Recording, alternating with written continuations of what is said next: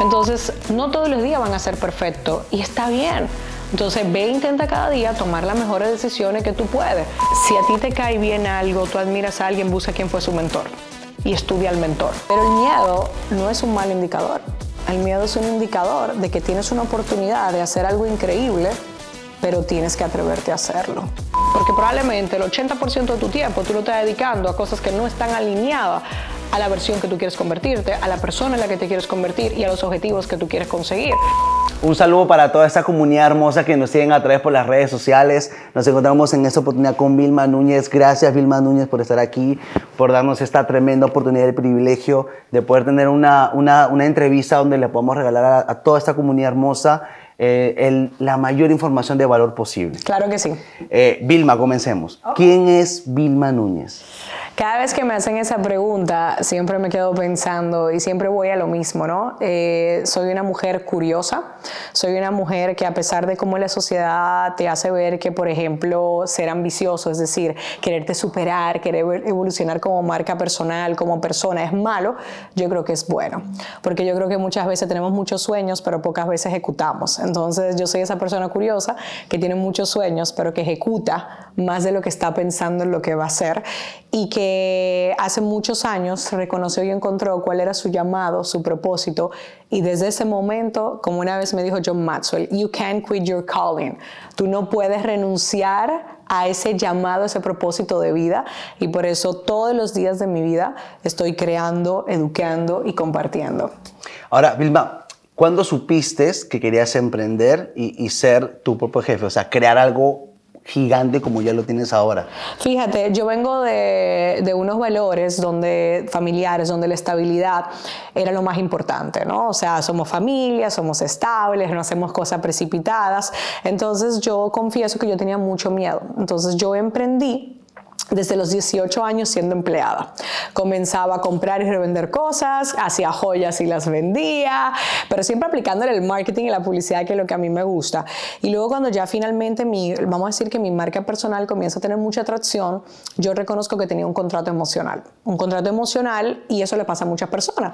Y entonces otros le dicen, no, tienes que renunciar ya. Hay un día que te llega y dices, ya, aquí es. Y ese día a mí me llegó en un vuelo de vuelta, yo lloraba, lloraba, la persona al lado de mí en el avión decía, ¿estás bien? Y yo no, estoy feliz porque finalmente voy a tener la valentía y el coraje de hacer algo, no cuando me decían que había que hacerlo, renuncia, renuncia, no, cuando yo estuve lista para hacerlo. Yo creé mi colchoncito, tuve con ese tema del empleo y luego di ese salto. Entonces, para mí, hay gente que me dice, concha, le hubiera sido mejor si hubieras empezado dos años antes. No, fue perfecto porque lo hice sin presión, pero teniendo el coraje de atreverme a dejar toda la estabilidad para aventurarme a algo. Y yo le digo a muchas personas que a veces les da miedo eso. Y yo le digo, mira, si ya tú estás emprendiendo o educándote, sin haber dejado tu trabajo, imagínate lo que pasaría cuando tienes todo el tiempo del mundo para dedicarte a tu emprendimiento. O sea, cambia todo totalmente, pero es un tema de lógica, tienes mucho más tiempo para hacerlo. Total. Ahora, Vilma, estamos de acuerdo que cuando todos emprendemos o cuando queremos emprender, hay miedos, creencias, limitaciones, paradigmas. O sea, hay muchas cosas en la mente que nos dicen si sí o si no.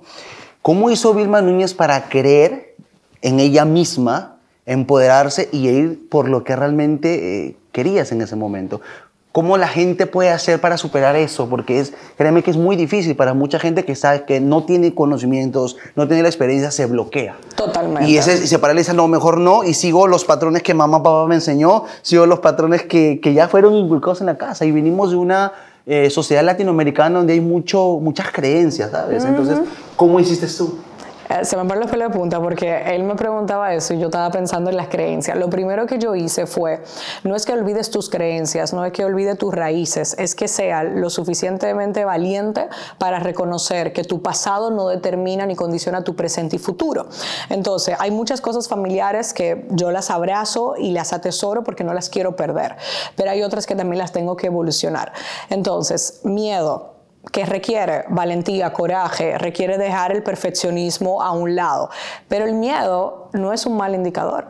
El miedo es un indicador de que tienes una oportunidad de hacer algo increíble, pero tienes que atreverte a hacerlo. Y tienes que estar preparado. Ahí es donde yo digo siempre, la educación es la solución. Muchas veces no estamos preparados. Yo te digo, mira, un libro, puedes ir a casa de familiares y amigos a pedirle un libro prestado. En toda casa hay libros de negocio, de desarrollo personal. Entonces a mí lo que más me ayudó en este camino fue realmente empezar a analizar y decir, wow, ¿quiénes son las personas que yo admiro? ¿Cuál fue su trayectoria? ¿Qué es lo que ellos hacen? Hacer una persona como que muy, muy, muy curiosa. Y luego a entender algo si yo tengo grandes sueños, grandes planes, pero me quedo donde estoy, no puedo pretender cambiar mi resultado. También empezar a, ver las oportunidades y tomarlas. Porque yo te voy a decir la verdad, cuántas veces muchas personas, alguien le quiere dar un regalo, le quiere invitar a una cena, no, no, yo me lo pago. ¡Wow! El universo te está diciendo claramente que te quieren ayudar y tú rechazas eso. O cuántas oportunidades se te presentan, mira, ¿quieres hacer esto? ¿Te estarías dispuesto? Y tú dices, no. Entonces constantemente te muestran oportunidades, señales de hacia dónde ir, pero nosotros muchas veces por nuestro ego, por nuestras inseguridades, por nuestra falta de autoestima, nos alejamos y la rechazamos. Entonces luego te cuestionas, ay, ¿por qué a fulano y a fulana le va mejor? Bueno, porque quizás esa persona vio las oportunidades que estaban ahí enfrente e hizo algo al respecto. Yo también me he mantenido con un mantra que es el todavía. Yo desde, mi, desde muy joven, desde adolescente, he tenido grandes sueños, ¿no? Y siempre he mirado como, wow, mira fulano. Por ejemplo, yo vengo de una familia de emprendedores eh, y emprendedores en serie, ¿no? O sea, de diferentes proyectos que también son líderes, buscan otros líderes, de empresas, o sea, como de todo tipo. Y yo algo que me he dado cuenta y es que todos ellos comenzaron con nada. Entonces yo dije, yo no tengo nada hoy todavía y entonces me apalanco ahí todavía, pero yo lo puedo conseguir. O sea, ¿qué tiene mi familia que yo no tenga? O sea, mm, somos iguales, somos seres humanos, somos echados para adelante. Entonces eso siempre a mí me mantenía motivada. Yo siempre digo, el más famoso, cuando comenzó nadie lo conocía. El más exitoso, cuando comenzó, no tenía éxito. Entonces, en eso me, me he apalancado y también en el saber de si te va realmente mal, ¿qué es lo peor que puedes pasar? que tengas que volver a comenzar, fabuloso, ya sabes lo que no tienes que hacer. Y luego también de mis errores he tenido una mayor escuela. Mi pasado yo no lo veo como, ay, si hubiera hecho, no, lo veo como una gran escuela, al igual que mis errores. Entonces es normal cometer errores. A mí aquí creo que hay algo de Warren Buffett que me encanta y es que él, todas las decisiones que toma, él las apunta para luego en el futuro ver cuándo acertó y cuándo se equivocó. Si tú hicieras esto a modo de journaling, de, tener un diario y apuntarlo, te ayudaría a darte cuenta que muchas de las cosas que hoy estás viviendo fue por una decisión que tú tomaste en el pasado. Y esto sería algo muy importante. La evolución es inevitable. Creer que no vamos a crecer es absurdo, porque todos evolucionamos. Ahora bien, eso también me gusta de John Mansell que dice, hay gente que como un ascensor, un elevador, ¿no? Hay gente que te sube para arriba y otra gente que te baja para abajo de quién estás rodeado. Porque quizás tú tienes grandes sueños, pero tu círculo está condicionado, es todo el tiempo que se queja y tú terminas entrando en este patrón de quejarte. Es que no tengo, es que no puedo, es que no tengo, es que no puedo, yo no soy suficiente. Cuida mucho las palabras, como te hablas. A mí lo que más me ayudó a trabajar mi autoestima y mi confianza fue la forma en la que yo me hablaba. Primero háblate bien, y luego sigue buscando ayuda afuera, porque muchas veces la ayuda de fuera, cuando tú estás inestable, es un poco difícil que te funcione. Y eso indudablemente mejora tu, tu autoestima. Uf, claro que sí. Mejora el amor propio y ahí vas con todo para, para, para lo, que, lo, que uno quiere. ¿Tú te puedes creer que yo era muy insegura? Cuando yo comencé mi marca personal y a comenzar hitos, yo era muy insegura.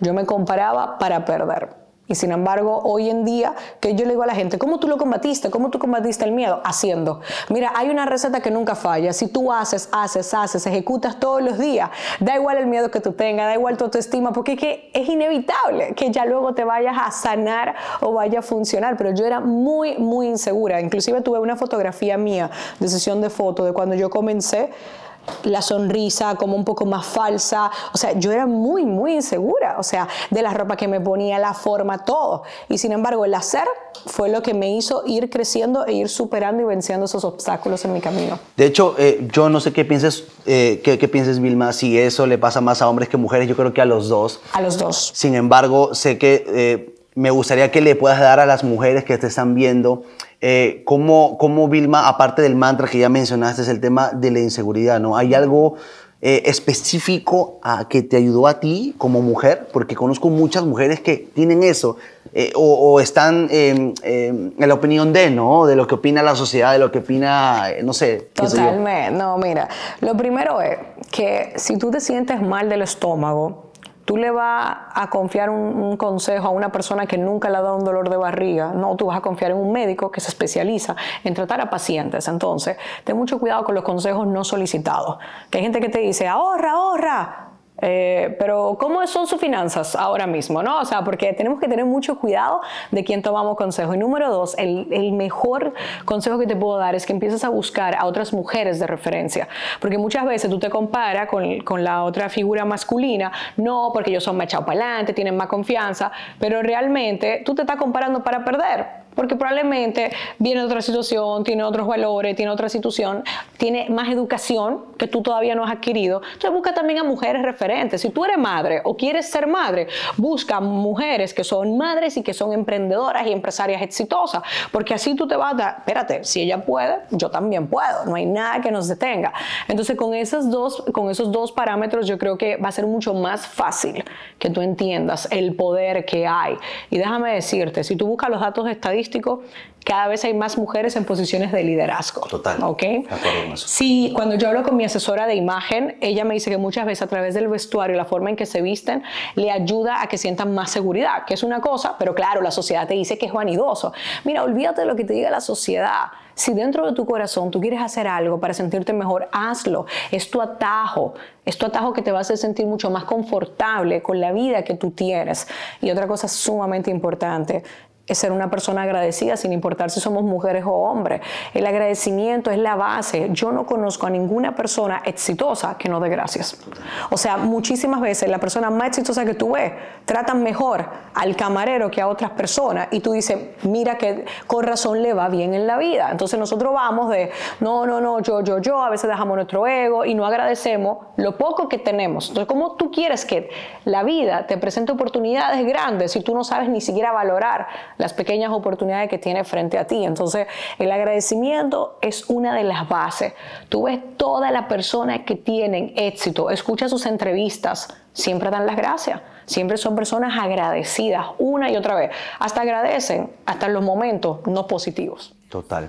Ahora, Vilma, ah, en este momento de vida en el que te encuentras hoy, ¿qué te llevó a impulsar y, servir a otras personas a través de tu marca personal. Porque veo muchas personas que hacen empresas, que crean empresas, pero lo hacen por el dinero, ¿sabes? Entonces, ¿cómo, cómo, cómo, o sea, qué es lo que te ayudó a ti? A mí, yo, yo, lo venía haciendo, pero creo que hay una frase de Jeff Bezos que a mí me encantó y él decía, um, yo, yo, voy atando cables, ¿no? Entonces hay una técnica que me funciona muy bien, me la dio una vez un querido amigo Nutrillermo, Guillermo, y era si a ti te cae bien algo, tú admiras a alguien, busca quién fue su mentor y estudia al mentor. Entonces, por ejemplo, Jim Rohn fue el mentor de Tony Robbins y yo esta mañana estaba escuchándolo, ¿no? O sea, entonces como que tú buscas al mentor. Y con Jeff Bezos yo fui analizando su modelo de negocio, me encanta el modelo de Amazon, me parece muy bueno de moldear a nivel de modelo de negocio y entonces caigo en que él compra Whole Foods, que Whole Foods es una cadena de supermercado con unos valores más conscientes, por así decirlo, ¿no? Y entonces Jeff Bezos dice, es que yo no hago negocio con mercenarios, hago negocios con misioneros. Los misioneros son personas, o lo primero que tú piensas misión, se te ocurre que tú estás en el desierto, en unas batas, pasando hambre, dando chancleta. No, no tiene nada que ver eso. Personas con misiones que tienen claro un propósito de vida, se basan en unos valores, lo hacen de una forma muy consciente y también le gusta el dinero, o sea, porque puede coexistir tu ser una persona espiritual, consciente, buena, de valores, con también generar riqueza. Entonces, en ese momento a mí me encantó y luego me fui a leer la historia de Whole Foods, del CEO, del liderazgo consciente, y eso es lo que tienen en común. Entonces, en la vida, tú puedes buscar misioneros, personas a quien admirar y aliarte que tengan una misión y un propósito. Entonces, eso para mí ha sido una de las claves. Yo creo que se puede tener todo pero ¿cuál es tu propósito? ¿Cuál es tu llamado? ¿Cómo yo lo identifico? Si tú lo puedes hacer gratis y te puedes levantar todos los días de tu vida, aunque todavía no recibas las ganancias que espera o aunque todavía no te estén pagando y tú como quieras tienes esa ilusión y tienes por un momento apartado el dinero, esa es tu vocación y tu misión. Yo puedo todos los días de mi vida despertarme, educar y ayudar y servir porque es lo que yo amo, es mi vocación, fue mi llamado, es lo que yo me dedico. Pero ¿qué pasa? El dinero va a ser una consecuencia, porque cuando tú practicas, tú te conviertes en un maestro. A mí no me gusta la palabra expertos o gurús, yo creo que son maestros, podemos alcanzar el nivel maestro. Entonces muchas personas quieren ser grandes emprendedores. Y yo le digo, ven acá, ¿y cuáles son tus 10.000 horas de vuelo? Porque cada vez que se habla de un gran músico, ¿vale? Se habla de eso. Y luego también... O que salió de la noche a la mañana, De la noche a la mañana. Mira, mi éxito me ha costado 11 años con mi marca personal. Pero luego también hay algo que la sociedad nos tacha y nos dice, si eres bueno en todo, no eres bueno en nada. Y sin embargo, las personas que tú y yo más admiramos son personas cultas, son personas que todos los días de su vida están leyendo libros, escuchando más de lo que hablan. Entonces yo te digo la verdad, ¿Tú crees que Beethoven fue quien fue porque nada más sabía tocar un instrumento? ¿O nada más conocía de un género musical? No, lo que lo hizo experto, lo que lo hizo masterizar, era el conjunto de habilidades, el conjunto de conocimientos. Entonces, si tú sientes que ahora en este momento tienes que estudiar finanzas, pero luego te vas a dedicar más al liderazgo, está bien porque déjame decirte, están ligados. Mientras más habilidades desarrolles, más te vas a dar cuenta de que lo que hace excelente y maestros a las personas es el conjunto de distintas disciplinas que dominan, de distintas habilidades y sobre todo de distintos hábitos. ¿Cuáles son tus hábitos? ¿Cómo tú pretendes con los mismos hábitos que tienes ahora, quizás sedentarios, conseguir grandes cosas? Cada decisión que tomas, cada sueño que tienes, requiere de unos sacrificios. Esos hábitos que hoy en día te cuestan, entrenar, comer más saludable, cuidarte, tener más tiempo contigo, quizás son los que te están impidiendo llegar a tu próximo nivel. Wow, tremendo. Vilma, una pregunta de las tantas que ya hemos hecho. Eh, si tuvieras que empezar desde cero, o sea, de nuevo, si tuvieras que empezar de nuevo hoy, eh, ¿cuáles serían los pasos a seguir para tener ese éxito. De la noche a la mañana. Exactamente. Básicamente yo diría que nunca hipoteques tus valores y que tienes que tener mucha paciencia. Todo en la vida requiere de más o menos paciencia. Hay cosas que, bueno, pues se te surge una oportunidad y se te da rápido. No creo que toda la vida tenga que ser sufrido y que las cosas buenas obligatoriamente tengan que ser a largo plazo. No, no, claro que no. Pero debes de tener paciencia, porque a veces nuestros impulsos son buenos para motivarnos a lanzarnos, pero no son muy buenos para intentar acortar un tiempo que no se puede acortar. Yo creo que si tú quieres conseguir más, eh, más éxito en menos tiempo, la educación y los mentores pues son grandes referencias, ¿no? Como tú te educas. Pero igualmente tienes que esperar, porque tú contratas a un mentor, te va a decir lo que tiene que hacer, lo tiene que ejecutar, o sea, todo en la vida requiere.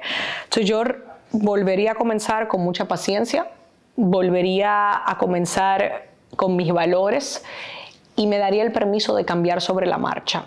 O sea, yo hay una técnica que aplico y es que esta mañana, antes de yo poner mi podcast y empezar a tomar notas y hacer mis agradecimientos, yo volví a leer mis objetivos. Los objetivos que yo tengo, yo comienzo mi año a planificarlo de forma distinta. Yo no planifico en diciembre ni en enero, yo planifico en agosto.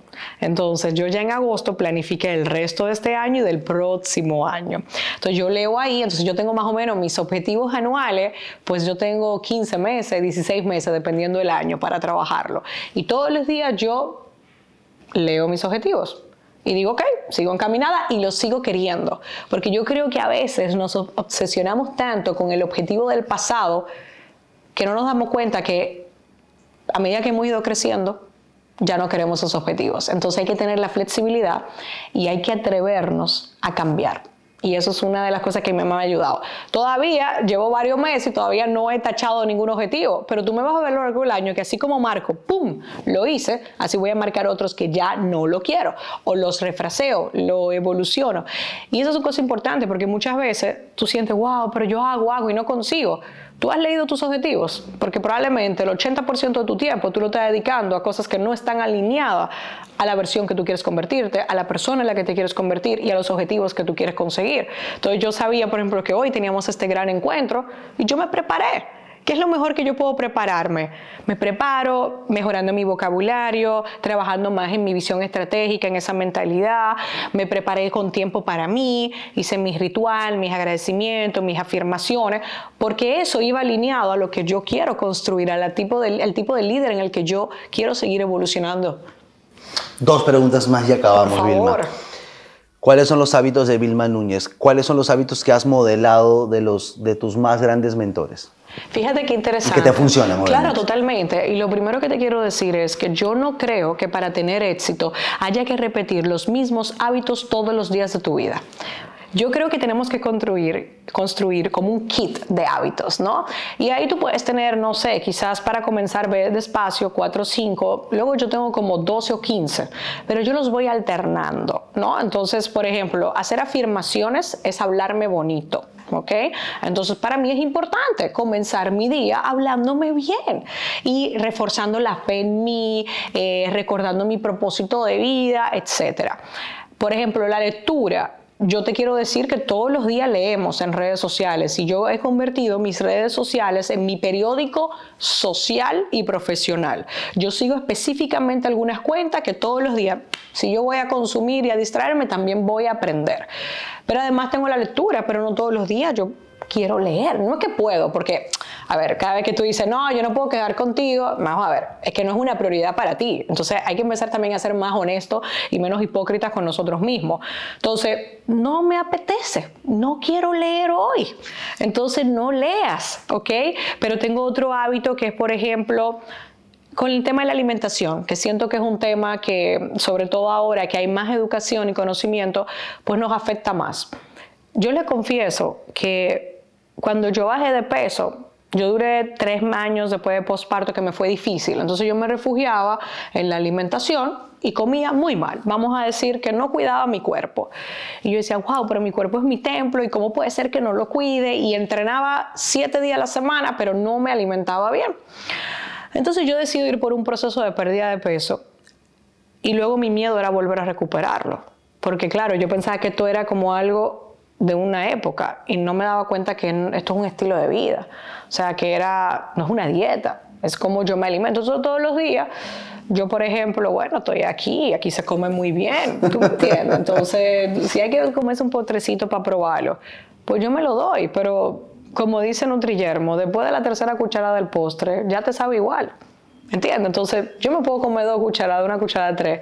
Cumplí mi caprichito que tenía, pero estoy cuidando mi cuerpo. Entonces, no todos los días van a ser perfectos y está bien. Entonces, ve e intenta cada día tomar las mejores decisiones que tú puedes.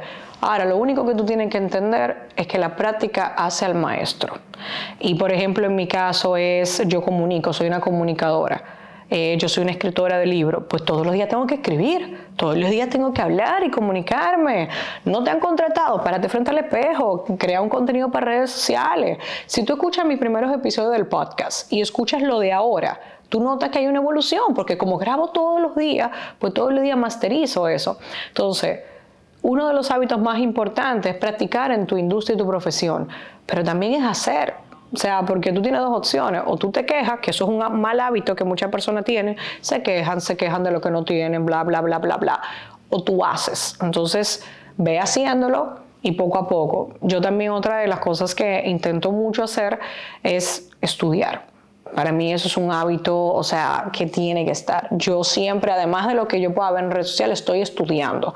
A estudiar, tengo mis audífonos puestos, dedico mi tiempo. Y algo que a mí me ha ayudado mucho es pensar. Yo creo que nosotros vivimos en un modo de sobrevivir, donde todo el tiempo lo único que hacemos, hacemos, hacemos, hacemos, y tú llegas un momento al final de la noche y dices, pero ¿qué fue lo que yo hice? o sea, ¿qué fue lo que yo hice? Y no te dedicaste a pensar.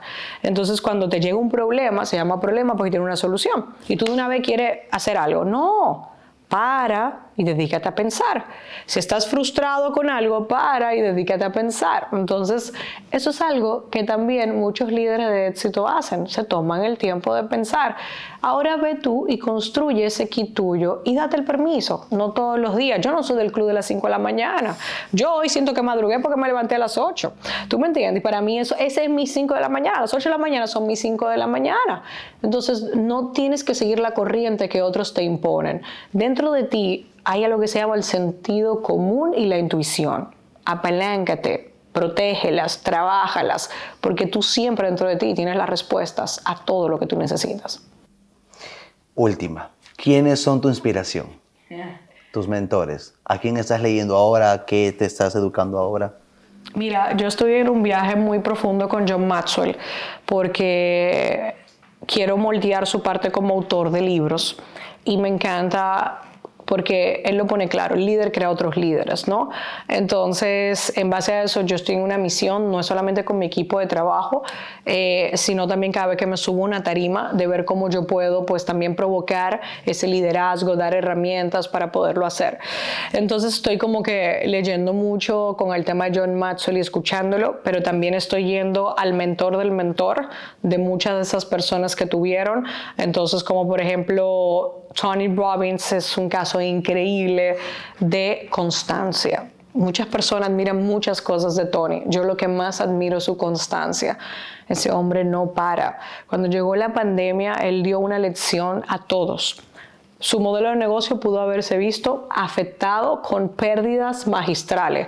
Lo primero que Tony hizo, como es una persona que toma acción, fue construir el mayor estudio, pero pagándole, porque ya yo me enteré que contrató a los mega expertos que lo llevaban haciendo. O sea, lo primero que hizo fue billete, ¿vale? Porque tú solo puedes tener la idea, pero tienes que apoyarte. Y construyó el mayor estudio para hacer eventos online. Literal. Y pasó algo mágico. Antes tuve un evento Tony y tú y yo teníamos que cada uno comprar una entrada separada. Empezó a verse este fenómeno que uno compraba la taquilla y lo hacía toda su familia, con lo cual en solamente poco tiempo Tony pasó de ser una persona que lo conocíamos, los líderes, que siempre buscamos crecimiento, y ahora tú hablas con cualquier amigo que no trabaja su liderazgo, que no emprende, y le gusta Tony Robbins, porque su efecto se amplificó. Pero lo primero que hizo fue, mira, llegó esto, pues vamos a resolver. Lo primero que hizo, mientras uno estaban quejándose, él estaba haciendo.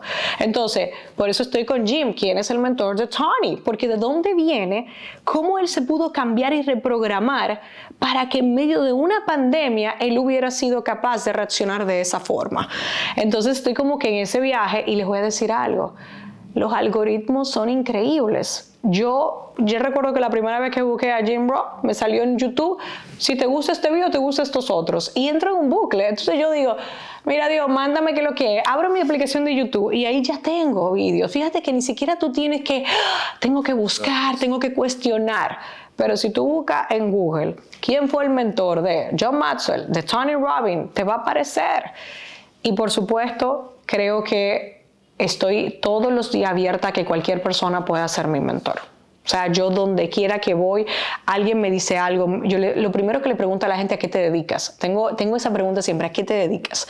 Y cuando me dicen a qué se dedico, de una vez le empiezo a preguntar, ah, ¿y qué haces? ¿Y cómo es? ¿Y cómo es? ¿Qué es lo que más te gusta? Esa persona es mi mentor, mi mentora. Y puede ser que a lo mejor esté recién comenzando su profesión, pero es mi mentor también.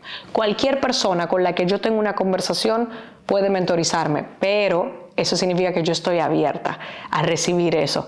Muchas veces tú conoces un montón de personas y tú, nada, no, que no, ábrete, escucha, porque tú no te imaginas cómo quizá en el futuro, buscando respuesta a un problema, un desafío, una adversidad, esa persona que tú conociste, que a lo mejor ni siquiera recuerda su nombre, te va a dar la solución. Muchísimas gracias, Vilma. Eh, bueno, espero que les haya encantado todo este contenido de valor. Si quieren una segunda parte, escriban ahí los comentarios para, para poder tener una segunda parte con, con Vilma Núñez. Muchísimas gracias. Chao.